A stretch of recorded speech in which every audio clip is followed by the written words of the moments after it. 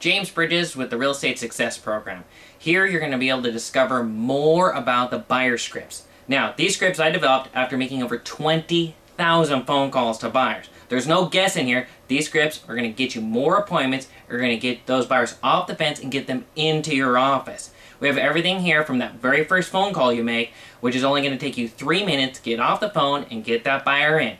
You're also going to find more information on role plays, additional objection handlers. Go through the scripts, dig deep, make sure. If you have to, we even have the transcripts printed out, put them next to your phone when you're making those phone calls. You'll never have to guess again with the buyer scripts and the role play CDs that we're providing for you here.